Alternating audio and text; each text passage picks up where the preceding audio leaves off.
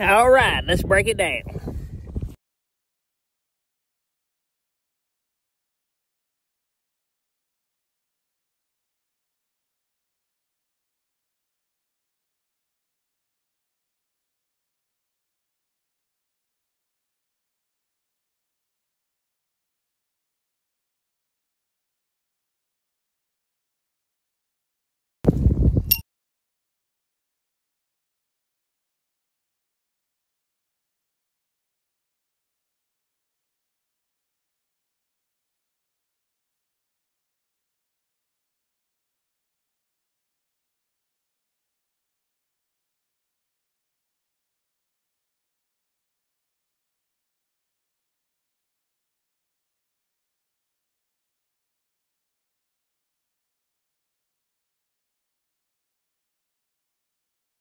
There